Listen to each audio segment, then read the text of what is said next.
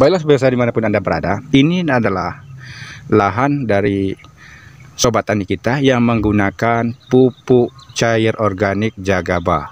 Sebelah kanan jarak 5 meter ini menggunakan pupuk pupuk kimia. Mari kita saksikan dari penjelasan sobat tani kita. Welcome to my channel Chili Garden. Jumpa kembali di channel kami Chili Garden. Kali ini kami akan membagikan pengalaman tentang masih di seputar uh, cara perawatan tanaman cabai kita yaitu perbandingan antara kita menggunakan POC pupuk organik cair Jakaba dengan pupuk kimia.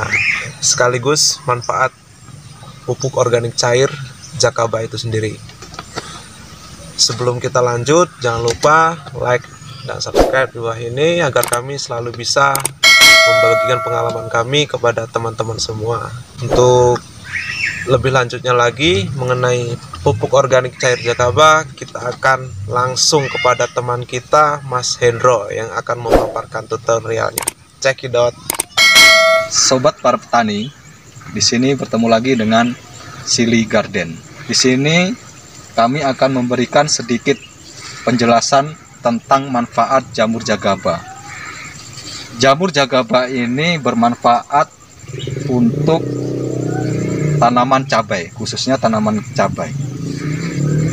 Cabai yang dulunya agak keriting kena virus Gemini, hmm, fusarium tentunya. Namun menggunakan jamur jagaba kita bisa melihat langsung hasil dari perkembangan jamur jagaba itu sendiri. Baiklah sobat garden, kita akan memperbandingkan yang menggunakan jamur jagaba dan yang tidak menggunakan jamur jagaba. Marilah kita lihat.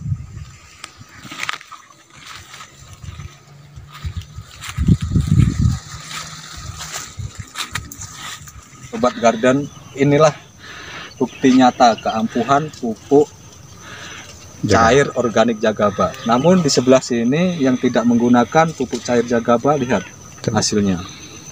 Daunnya kaku. Batangnya keras.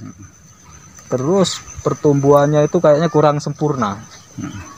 Badal ini kayaknya pupuk ya, full ini pupuk kimianya ini. Ya. ya. Dan ini dia terkena virus. Ya batangnya terkena virus ya. ini layu pusarium atau hmm. apa patek pateknya pun sangat banyak ini tadinya hmm. itulah sobat garden mudah-mudahan kita bisa memberikan perbandingan antara jamur jagaba dengan pupuk sintesis atau kimia untuk jamur jagaba di sini kami sangat senang. Artinya sangat bangga dengan adanya jamur jagaba. Jagaba bisa mampu mengatasi layu fusarium, tanaman kerdil, patek, terus buah terutama buah. Terutama buah pada Y. Y. Pertama masih nyantel utuh. Dan Y kedua Y ketiga Y keempat. Sedangkan pada situasi pada saat ini cuaca cukup ekstrim. Dibilang cukup ekstrim.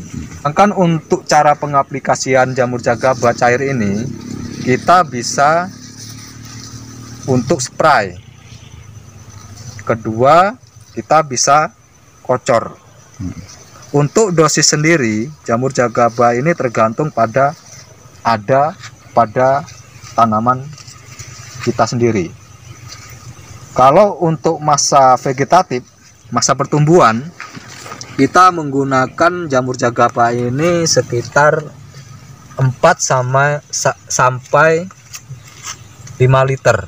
Hmm. Sedangkan untuk penyempraian, penyempraian itu tergantung. Penyemprotan. Ya, penyemprotan. tergantung. Penyemprotan itu tergantung dengan kondisi kondisi keadaan cabai ini sendiri. Misalnya cabainya kurang sehat. Kita kalau untuk dosis umum kita pakai s- satu banding 20 ya, semuanya satu liter kita kasih satu mili. Itu kita pahami tanaman cabai ini tidak memerlukan pupuk kimia. Sama sekali tidak memerlukan pupuk kimia. Namun kita pada pengaplikasian pertama ini lahan pertama sebelum tanam kita cuman memakai tai kambing tapi yang udah jadi. Ini yang udah jadi. Itu pun ini standar enggak enggak enggak, enggak terlalu banyak. Kalau ini kan sekitar 10 meter. 10 meter mungkin cuma satu karung.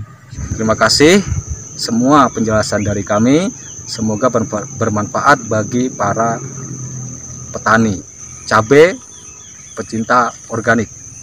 Salam sukses. Oke, demikian tadi eh, pemaparan pengalaman kami tentang menggunakan pupuk organik cair Jakaba. Mudah-mudahan bermanfaat untuk teman-teman semua. Sal- eh, salam satu pacul. Don't forget for like and subscribe. See you tomorrow next time. Assalamualaikum warahmatullahi wabarakatuh. Sukses selalu petani cabai Indonesia. Oke, untuk pengaplikasian Jakaba ini itu kita kocorkan.